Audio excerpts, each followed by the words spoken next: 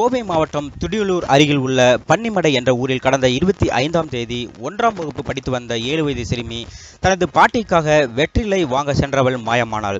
இதனால் அந்த சிறுமியின் பெற்றோர் அளித்த புகாரின் அடிப்படையில் போலீஸ் தீவிர தேடுதலில் ஈடுபட்டு கடைசியில் அந்த சிறுமியின் இறந்த உடல் அவளுடைய வீட்டிற்கு எதிரே உள்ள இரண்டு வீடுகளுக்கு நடுவே உள்ள சந்தில் டி ஷர்ட்டால் சுருட்டப்பட்ட நிலையில் கண்டெடுக்கப்பட்டது.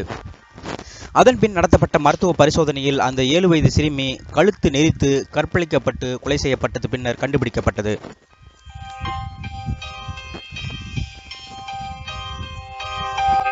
இதனால் அதிர்ச்சியான போலீஸ் குற்றவாளிகளை பிடிக்க பத்து பேர் கொண்ட தனிப்படை அமைத்து தீவிரமாக தேடி வந்தது.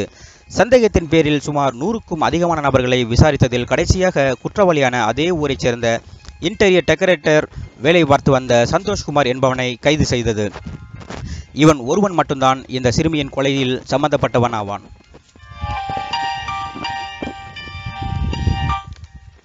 அதன்பின் போலீஸ் அவனிடம் நடத்திய விசாரணையில் அவன் அந்த சிறுமியை கொலை செய்ததை ஒப்புக்கொண்டான். மேலும் போலீசுக்கு அவன் அளித்த வாக்குமூலத்தில் அந்த சிறுமிக்கு சாக்லேட் கொடுத்ததும் வீடியோ கேம் காட்டியும் ஏமாற்றி முதல் தடவை பாலியல் பலாத்காரம் செய்துள்ளான். அந்த அந்த சிறுமி அந்த விஷயத்தை யாரிடமும் சொல்லாததால் இரண்டாவது தடவையும் பாலியல் வன்கொடுமை செய்துள்ளான்.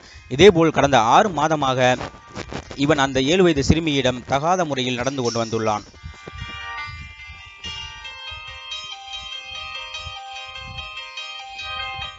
மேலும் சம்பவத்தன்று அந்த சிறுமியை வலுக்கட்டாயமாக பாலியல் வன்கொடுமை செய்தபோது அந்த சிறுமி வலியால் கத்தியதால் மரக்கட்டையால் அந்த சிறுமியின் தலையில் ஓங்கி அடித்து கொன்று பின் சடலத்தை வீட்டின் எதிரே உள்ள சந்திற்குள் போட்டுவிட்டு அங்கிருந்து தப்பி ஓடிவிட்டான். கடைசியில் போலீசிடம் மாட்டிக்கொண்டான். இவ்வாறு அவன் தன்னுடைய வாக்குமூலத்தில் தெரிவித்தான்.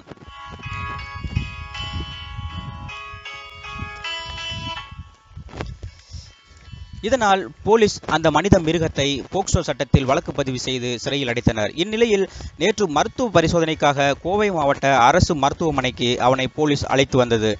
அதன்பின் பரிசோதனை முடித்து போலீஸ் அவனை வெளியே அழைத்து வந்தபோது கோவை மாவட்ட பொதுமக்கள் அவனை சூழ்ந்து கொண்டு சரம் மாறியாக அடித்து துவைத்தனர். இதனால் போலீஸ் அவனை அங்கிருந்து பத்திரமாக மீட்டு அவசரம் அவசரமாக வேனில் அழைத்து சென்று விட்டது. போலீஸ் அதிகாரிகள் மட்டும் சிறிது நேரம் வேடிக்கை பார்த்திருந்திருந்தால் பொதுமக்களை அவனை அடித்து கொண்டிருப்பார்கள்.